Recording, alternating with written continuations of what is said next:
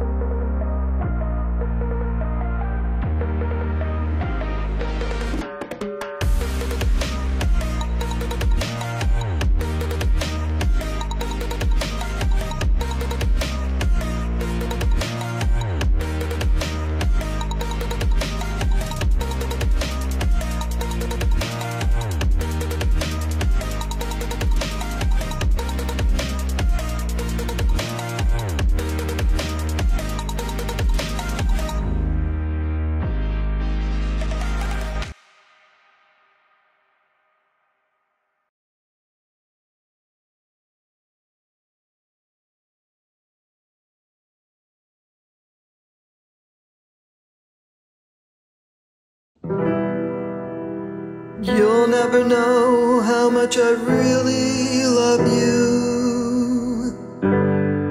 You'll never know how much I really care.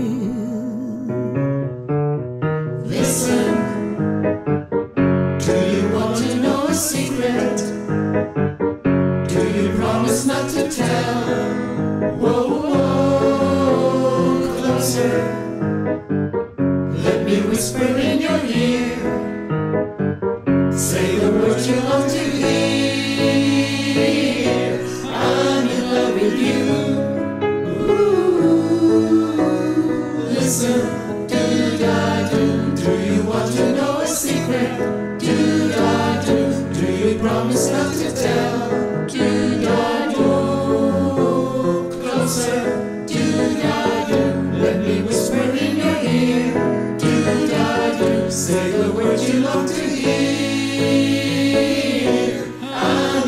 with you.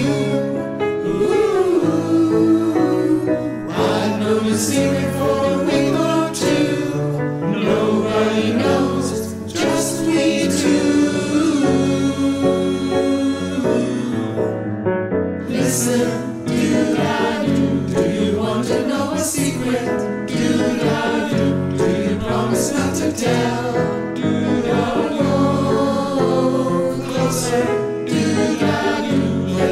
Whisper in your ear. Do da do. Say the words you long to hear.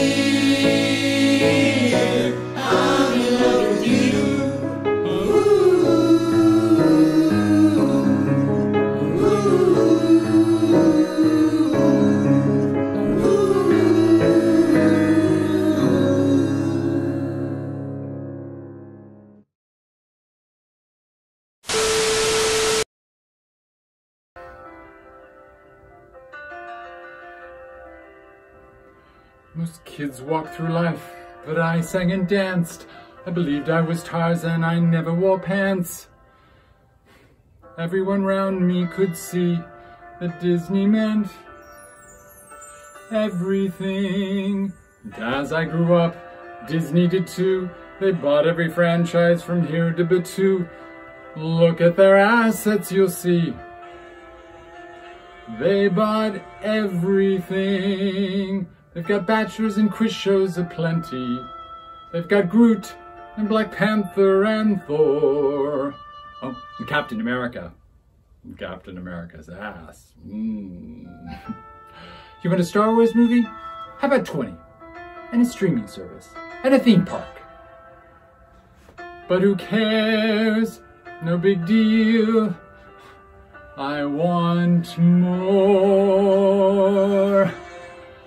I want a gay Disney prince. With footwork so thrilling, he slays without killing. A rich boy who still loves to work. A man who spills tea, not the blood of enemies. Disney, don't shoot so straight. You're in the musical scene. Time to toss out the princess and bring in a queen. Today is the day to say hey to a gay Disney prince. Every prince in the past, just straight vanilla. Let's add rainbow sprinkles and a shot of tequila. A gay guys whose gaze would fit clean on a three dollar bill. A prince who will put every woman at ease, cause he won't try to kiss them when they are asleep. A guy who likes guys who is still humanized in his film. Yes! I want a gay Disney prince. Disney, don't be suspicious. Try the gay stuff. It's delicious. Please, give us more than this bullshit. Yes, that's a bit screwy. Make me say La Fooey. Put me in a film. Gee, that would be swell. I'm Peter Pansexual. No, I'm Twinkerbell. Just breeders and theaters. I can't help but belt. Who is the prince I see? Very straight, unlike me. A whole new world, bedazzling place you yearn to view. I'd be so gay up here, it's crystal queer. Bless my soul, twerking on a pole. Oh, my bad. I'm sorry, I carried away. Only I'd had you in my early years, I might have seemed less weird to my non-queer peers who mature into parents, understanding and warm, knowing hetero ever after doesn't have to be the norm. If they'd have seen someone like me, a gay Disney prince.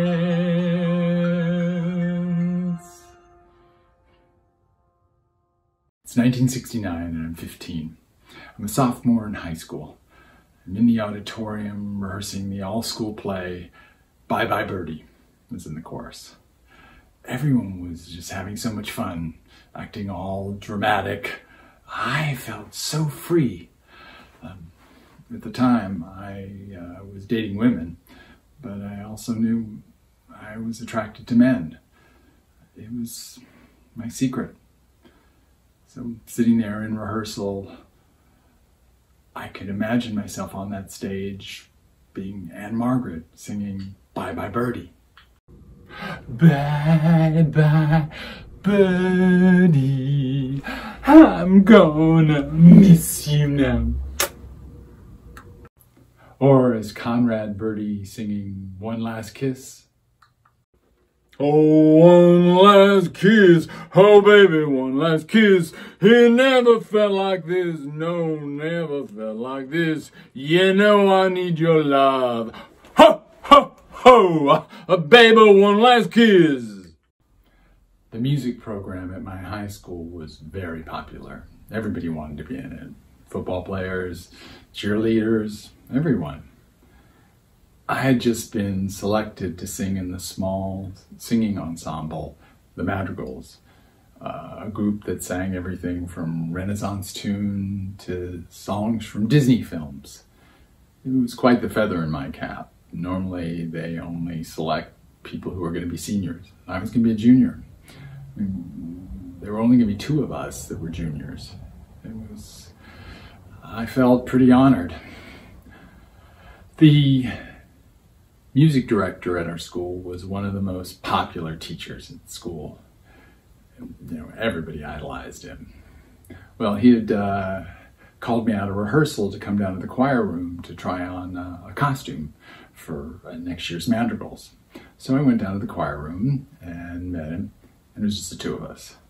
So we walked over to the uh, men's costume closet, opened it up, pulled one out, probably belonged to some baseball player or something like that, and said, Here, try this on. So I tried it on, and he stood there and looked at it and wrote down some comments and stuff, and then pulled out another one and said, Here, try this on. He said, but first, before you get to put this one on, you have to take that one off, hang it up, put it back in the closet, and then you can put this one on. That meant I was going to be standing there in my underpants, folding and hanging up the costume. So I did it because it was the music director. But it just felt so weird. I was 15 years old. I'm standing there in my underpants with this man just looking at me. And I did it, and we did a few more rounds of that as he pulled another costume out to try this and then this. It just felt strange, but you know, what do I know? I'm 15. So I then uh, finally found a costume that fits me. And I sit down in a chair in my underwear and I'm getting ready to get dressed to go back to rehearsal when uh, the music director straddles me in my chair. And I'm just shocked. I don't know what to do. I mean, it's like somebody found out my secret. But I didn't want this. I didn't know what to do. So finally, I just leaned the chair forward and looked down at the teacher and said, If you don't get off me right now, I'm gonna drop you on your fucking head. So he got off me. And I got dressed really fast and went back to rehearsal. In rehearsal was acting normal because nothing happened to them.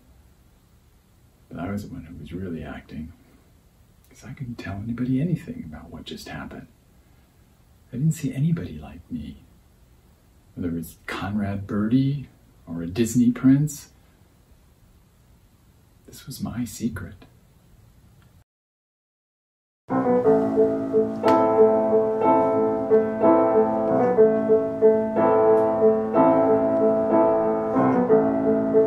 You don't own me. I'm not just one of your many toys. You don't own me. My life is with girls and not boys. And don't tell me what to do. And don't tell me what to say. And please, when I go out with you, don't put me on display,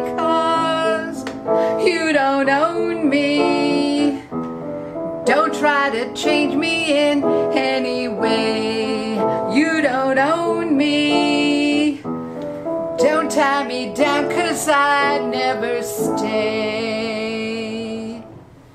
Yvette is my dear friend and a former co worker. She has had a very hard life, but has a heart of gold. This is her story of her life of secrecy. As a child, I used to have crushes on female movie stars. I loved wearing my brother's plaid shirts, and my blue jeans, I would fold them thick to the knee. I always wanted the privilege of being a boy. I mean, why couldn't I run around without a shirt? Or why couldn't I stand up to pee like my brothers? But my sister, my only sister, was always complimented about her beauty, and that made me invisible. After graduation, one of my coworkers introduced me to this guy, and we just slept together right away. And I thought, as a good Catholic, if you slept with a man, you had to marry them. And so we went to Vegas and got married. And my mom asked me when I got back from Vegas to gather my things, Do you love him even? She asked me. And I said, Yes, but I knew I didn't. I didn't like having sex with him. And then I started drinking heavy, and that helped me have sex with him. We had five children. And then his drinking got worse. And every night he'd come home drunk and he started to physically abuse me.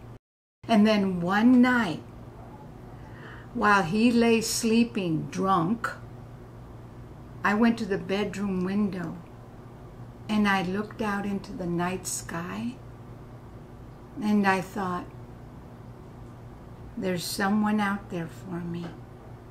And it's not a man. I knew what I wanted a woman. So after my divorce, I started going to clubs and I started going to dances. And I met a neighbor who took me to my first lesbian bar. I met a woman, Sherry, and we dated for four months. And then she moved into my house with me. I totally felt joy and happiness for the first time in my life. And then one day, my two oldest daughters called, and my partner answered the phone. And they kind of put two and two together. And I said, Yes, I met someone, and I like her a lot. and then and then my sister found out about it and she calls me and she says come over to the house and she began Yvette these people are sick in the head they want to recruit you get you in but you're straight you're not gay you're just having a nervous breakdown you're not gay, okay? But then I turned around and I said to her, I really love her, and that's what I want. And I walked out of my sister's house, and I never looked back. And I don't tell me what to do, and don't tell me what to say. And please, when I go out with you, don't put me on display. I don't tell you what to say, and I don't tell you to do. So just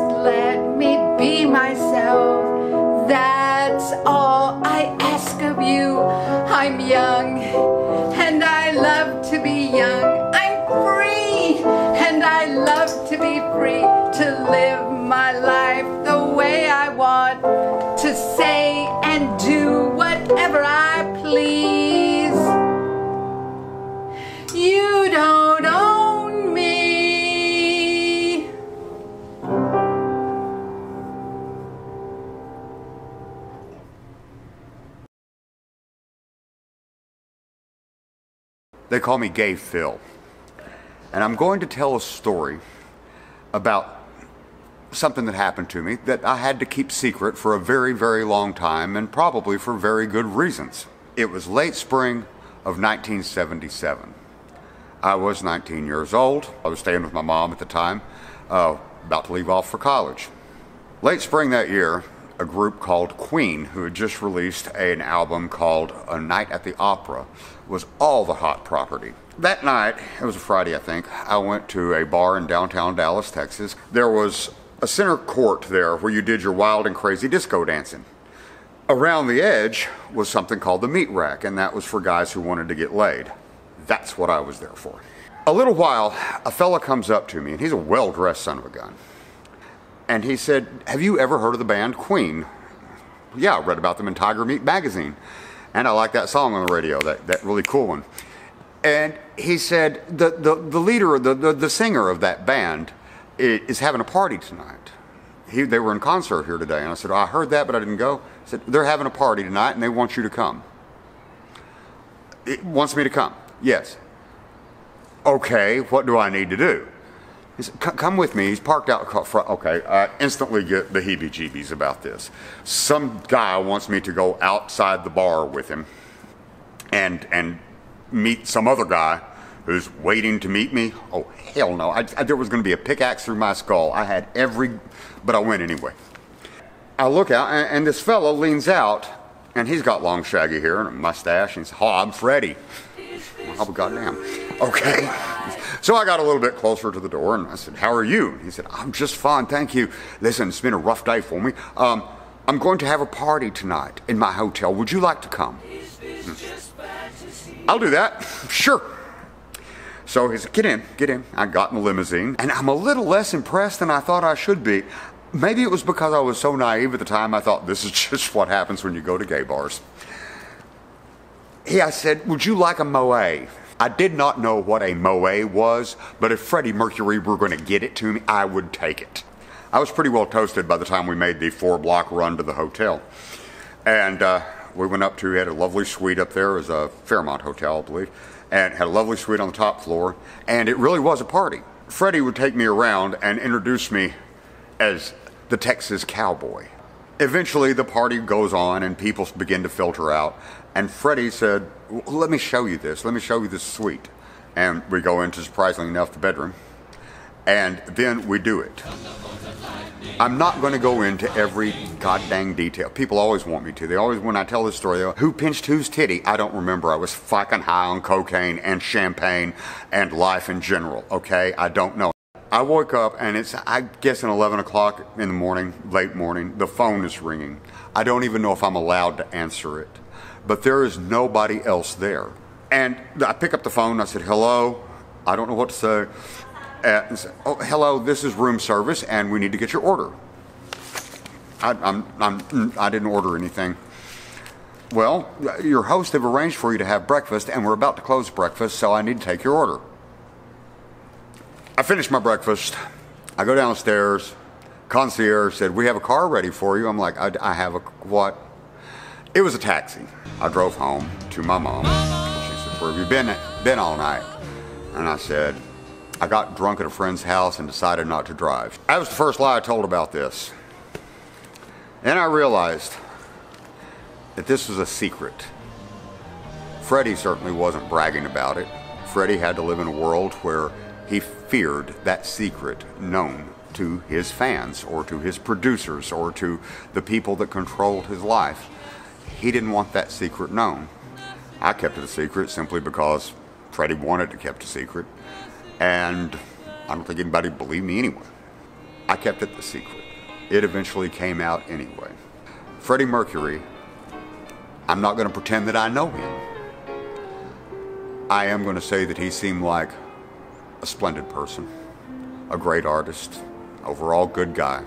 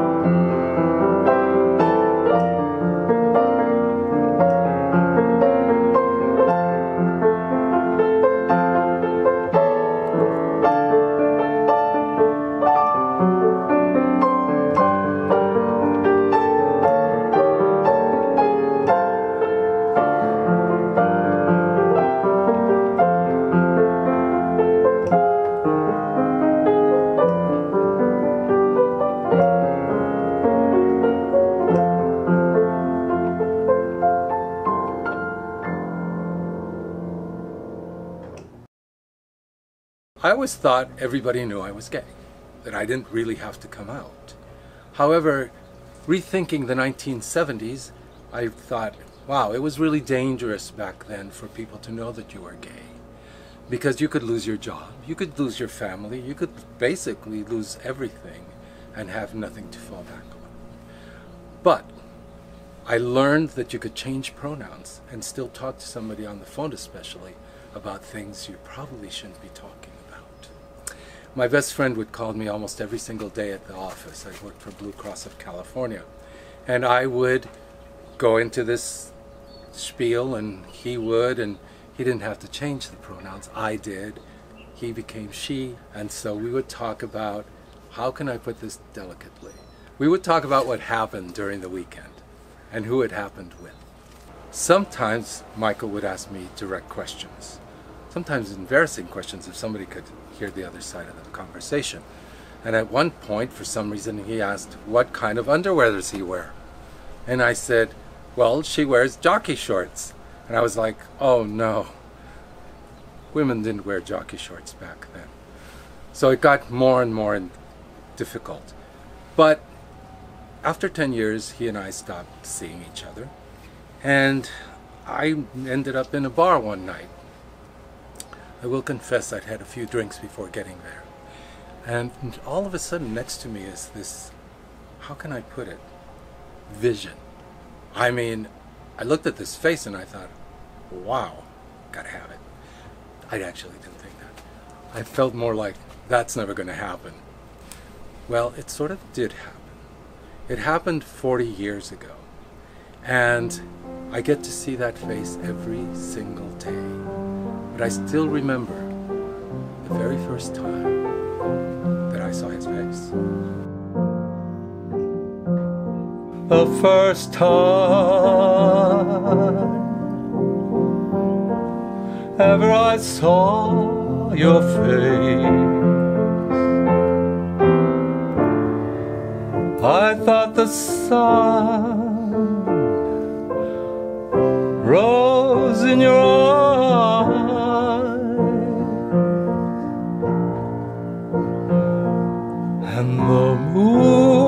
the stars were the gifts you gave to the dark and the endless skies, my love. And the first time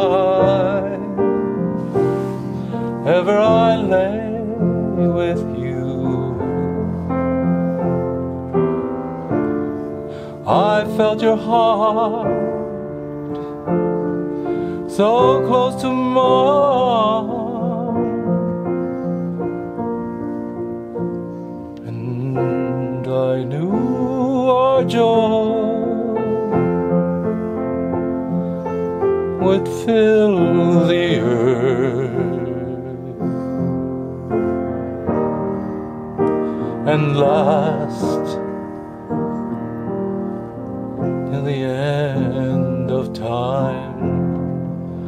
my love. The first time ever I saw your face, your face, your face,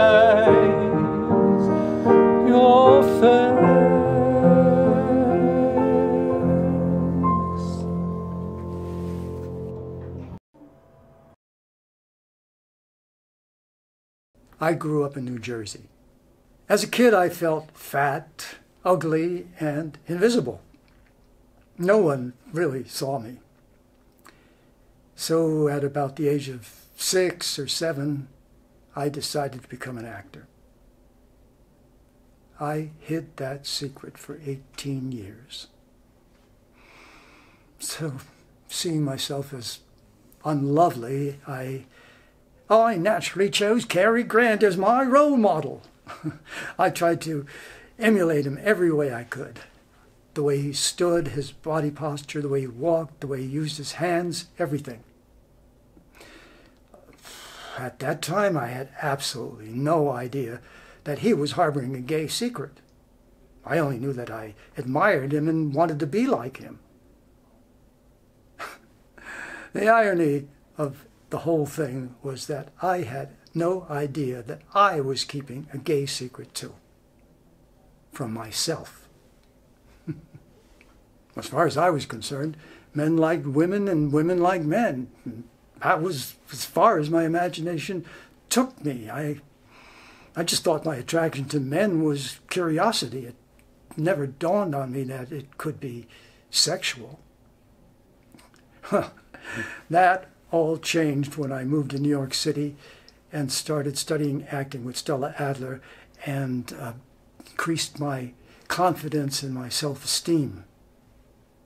Then, then I joined an acting group on 7th Avenue and 23rd Street and fell in love with Clay, the head of the group. That really confused me. I thought he was straight. Well, later on, after a cast party, he told me he was attracted to me too. We became lovers. And I finally unsecreted myself. Then, of course, I had to re-secret myself after we began living together so I could keep the secret from the rest of the group. Now, all that took place in the pornographic 70s in Manhattan, where gay sex went on in movie theaters, underground parking garages, sex shops, bathhouses, and subway bathrooms, in pairs and in groups. I also went to piano bars and gay bars, and I drank a lot and slept around a lot, and usually wound up going home with somebody almost every night to either his place or mine. Now, flash forward to the 1980s after I had moved to Los Angeles. One day, I was walking down Santa Monica Boulevard, and this really good looking guy comes up to me and says, Hey, Carl, great to see you and your hot body again. Uh, I had no idea who he was. But I went along with the conversation, and I thought, I thought it was a pickup line until, until he described my New York City apartment in detail and all the fun times we had in bed together. Well, to make a long story short, I proceeded to go to his place so that I could allow him to remind me of everything I had forgotten to remember.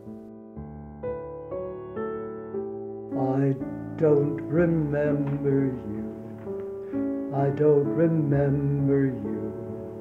I don't recall a single thing we used to say or do. What dancing in the park, what laughter in the dark what smoldering fireplace that lit your face with every spark?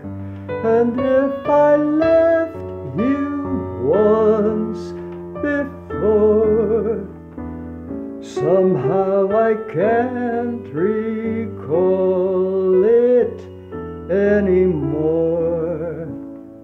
That was another guy. You're not at all like him. Though for an instant when you touched me, I believed the whim, but I was wrong. This moment is new. Because I can't, I won't, I don't remember you. That was another time, another time and place. although you bear a faint resemblance. You're another face. Yes, I was wrong. This moment is new. Because I can't, I don't, I won't remember you.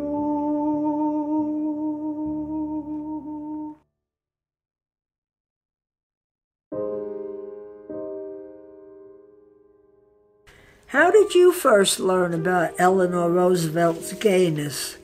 It was definitely a huge secret back in the day. I wonder what it must have been like being Eleanor Roosevelt, married to our 32nd president, Franklin Delano Roosevelt, back in the days of secrets and hiding. She had her secrets of lesbian loves, and he had his secrets of extramarital affairs. I wonder who knew and what they thought. Did Franklin know about her and didn't care? Everyone was in the closet back then, about everything. Like I said, he was busy, but she was busy too with her own relationships and circle of close, out lesbian friends. One in particular stands out the one she had with Lorena Hickok, known as Hick to all her friends, including the First Lady. A well known reporter she was. There were the letters, the only way she could communicate back in the day. Yes, snail mail, if you can believe it. During the 30 years they knew each other and loved each other, the two women wrote nearly 4,000 letters to each other. Eleanor's words to Lorena were clear, passionate, and unsubtle.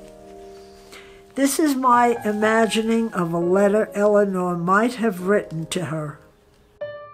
Dearest Hick, I've stayed away from you now for as long as I can. Why am I not allowed to touch you, to caress you, and love you? Out in the open for the world to see. It is so pure and lovely and wholesome. Is it really just because you are a woman and I am a woman? I want to say I love you so the whole world will know. I want to kiss your mouth till you tremble with my love. I want the smell and the taste of you all over me. This is our secret, and no one must know. When all I want to do is throw my love notes to you from atop the Eiffel Tower to see if they can reach the moon and back, my love.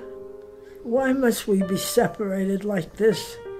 The only time I get to see you relaxed, soft, wet, and wild is when we we make it happen, and that's hardly ever. Fate has truly denied us any chance of our being together, except for the cherished times when we both can make it happen, even for just a few minutes, a few hours. Not real, not fair. I love you, my darling. Eleanor. Kiss today goodbye. The sweetness and the sorrow. Wish me luck the same to you.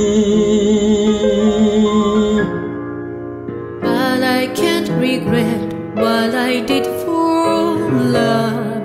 What I did for love. Look, my eyes are dry. The gift was ours to borrow. It's as if we always